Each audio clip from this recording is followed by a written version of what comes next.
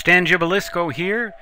I would like to describe for you the difference between a bypass capacitor and a blocking capacitor in a very simple example. Far, far away, somewhere floating on a piece of paper, billions and billions and billions of miles from Earth, hundreds of thousands of light years above our galaxy. And here is what that piece of paper looks like. It has a very simple two transistor circuit on it. Here are the transistors Q1, Q2. These are NPN bipolar transistors that you might find, for example, in amplifier stages. Say a multi-stage audio amplifier would be a good example, or a multi-stage radio frequency or intermediate frequency amplifier chain. Here is an example of a blocking capacitor, and here is an example of a bypass capacitor. Now what's the difference really? In a radio frequency circuit, the values of these capacitors might be 0.01 microfarads or thereabouts, whereas in an audio frequency circuit they might be several microfarads and they would probably have to be either electrolytic or tantalum capacitors in those applications. The blocking capacitor is intended to block the flow of direct current while allowing the signal to pass. So the signal can pass from the output of this stage here at the collector of this transistor through the capacitor onto the base of the second transistor easily.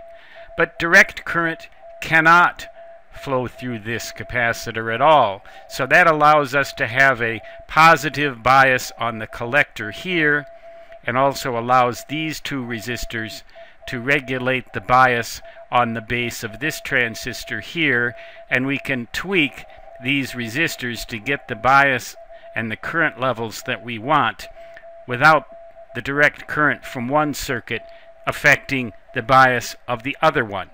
So this capacitor blocks that direct current. The bypass, on the other hand, serves a, a very different purpose. That allows the signal to flow through and blocks direct current just like the blocking capacitor does, but instead of its purpose being to block something, its purpose is to let something through or to let it bypass. This capacitor allows the emitter of this transistor to be at signal ground because the signal can easily pass right through to ground while at the same time letting us use a resistor here to provide some bias, some direct current bias to this emitter because remember the direct current can't pass through here. It's, as far as direct current goes, it's as if this capacitor weren't even there. As far as alternating current or the signal goes, well, it, this resistor has to be here to allow proper operation of the transistor, but uh, if we took that resistor away, the, the signal could still pass through this capacitor. It's just that the circuit wouldn't work because it would be opened up. No current could flow through here to produce the amplification. So that's what the difference primarily is. The capacitors actually behave in the same way in either application, but we're just taking advantage of different aspects of that behavior. In this example, we're taking advantage of the fact that a capacitor blocks direct current. In this situation, we're taking advantage of the fact that a capacitor will pass the signal. And that's really all there is to it. But you'll find a lot of these capacitors in circuits like this, and they almost always serve one or the other of these two porpoises.